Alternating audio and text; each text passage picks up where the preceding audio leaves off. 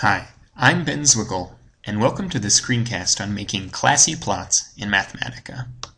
Before we get started, let's make a simple plot and compare it with some other common programs that are used for data analysis and plotting. So we'll use the Mathematica plot function, and let's plot sine of x as x goes between 0 and 10.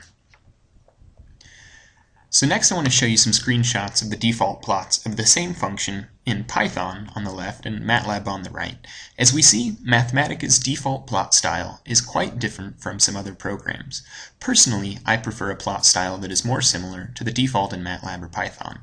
In this screencast, I'm going to show you some of the plot style options which I most commonly use. I want to introduce the basic plot options by starting with the basic plot shown on the previous slide. So that was plot sine of x as x goes between 0 and 10. And let's execute that and make it just a little bit bigger. So we'll add one option at a time and see the effect. I like to add each option on a new line to make the code easier to read. So I separate all the options by a comma and hit enter and it won't execute unless I hit shift enter. So now I'm going to add the first option, a frame. So that is frame and I do uh, dash greater than sign for an arrow, true, and hit execute. And the next option I'd like to add is to remove the axes running through the middle of the plot, because we don't need axes and a frame. So we'll say axes false. And it removed the x-axis that was running through the middle. Uh, next I'd like to change the font size because I like a sans serif font, at least for viewing on the computer. And I'll do that by changing the label style. And I'm going to give it multiple style options here. So the first I'll do is to change the font. So font family dash greater than sign for the arrow and Arial. And I'd like to change the font size to 12. And shift enter to execute. And now we have uh, changed the font size and the font family. So we can make that bigger for this presentation. Say we make it 24. Alright, so next I would like to add a label to the frame because we should always label our axes. So let's suppose in this case um, the frame label will be a list of two strings and the first string is the x label. So we'll call that time in seconds and the y-axis label will be displacement in, say, centimeters. Alright, and that's in a list, so it's inside those curly brackets. Alright, and there we have labels on the axes. And lastly, I would like to change the color of the curve, because that's a common thing that you'd like to set. So we can do that by saying plot style. And I'll show you how to change two different options. First, let's make it red. And let's also make the thickness thicker.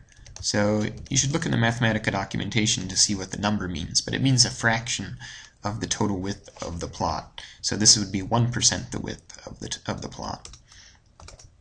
And there you have it. So that's a thicker red plot with labels. Uh, font changed to Arial, no axes, but a frame.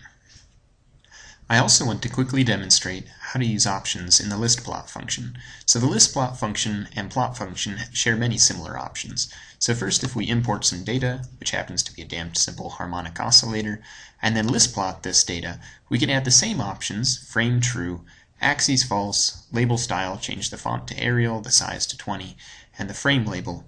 Uh, all those things were the same as plot, and if we execute, we get a similarly nice looking plot.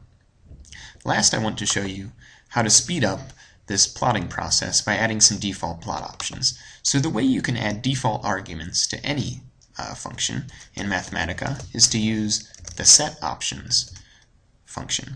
And the first thing it needs is to know what function are we going to apply default options to. So in this case, it's going to be the plot function. And we'd like to add, in this case, three default plot options. I'd like to say that the frame should always be true, so it should always be a plot with a frame. I always want to turn the axes off, so axes should be false. And I'll change the label style to have uh, a, the font family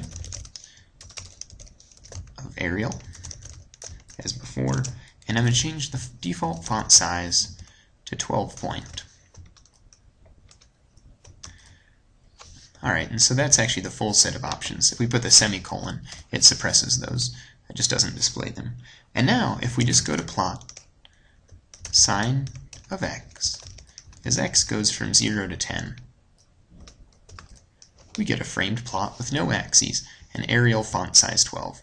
And if we add a frame label to that now,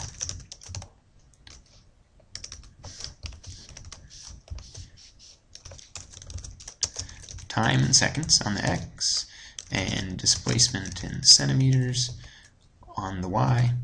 That also shows up in Arial. So that is a very convenient way, if you're going to be doing lots of plotting, uh, to just to condense your plot statements and to use the same formatting on all of them. And lastly, I want to remind you that you can always get help, uh, again by going to the Mathematica help and typing plot, or typing the plot function and hitting F1. And if I bring that on screen, uh, what you can see is there are a lot of examples, and in particular, if you look under the options, you'll see all the different options for setting the aspect ratio, formatting the axes, and so on. Uh, and that's very helpful, and there's usually good examples for most things, so don't forget about that. Um, thanks for watching.